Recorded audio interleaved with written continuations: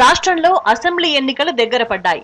దీంతో ఏండ్ల కింద ఇచ్చిన హామీలను కొత్తగా అమలు చేసే ప్రయత్నాలు మొదలు పెట్టారు సీఎం కేసీఆర్. ఆర్టీసీ ఉద్యోగులను ప్రభుత్వంలో విలీనం చేస్తామని తెలంగాణ రాకముందు హామీ ఇచ్చారు కానీ ఇన్ని రోజులు పట్టించుకోలేదు. రెండు వేల పంతొమ్మిదిలో ఇదే డిమాండ్తో ఆర్టీసీ ఉద్యోగులు యాభై రెండు రోజులు సమ్మె చేశారు. అప్పట్లో ఆర్టీసీని ప్రభుత్వంలో విలీనం చేయడం కుదరదని సీఎం కేసీఆర్ తెగేసి చెప్పారు. ఆర్టీసీని మూసేస్తామని ఉద్యోగాలు తీసేస్తామని చెప్పారు.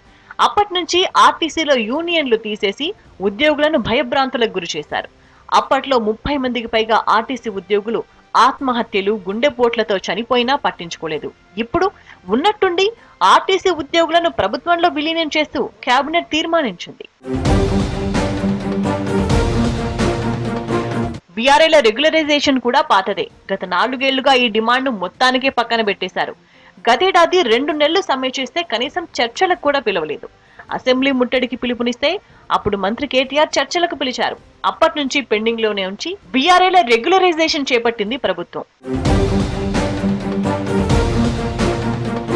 బీఆర్ఎస్ తొమ్మిదేండ్ల పాలనలో హైదరాబాద్ పాత బస్తీలో మెట్రోను పూర్తి చేయలేకపోయింది. కానీ ఇప్పుడు అదే మెట్రోను అరవై ఆరు వేల కోట్లతో విస్తరణ చేస్తామని మంత్రి కేటీఆర్ ప్రకటించారు. అలాగే ఇల్లు కట్టుకునేందుకు ఐదు లక్షలు ఇస్తామని దాన్ని మూడు లక్షలకు కుదించారు. దానికి కొత్తగా గృహలక్ష్మి అని పేరు పెట్టారు. కానీ ఇప్పటి వరకు ఈ స్కీమ్ అప్లికేషన్లు కూడా తీసుకోలేదు. బీసీ బంధు పేరుతో తీసుకున్న అప్లికేషన్లకు ఇంకా డిస్ట్రిబ్యూషన్ మొదలు పెట్టలేదు.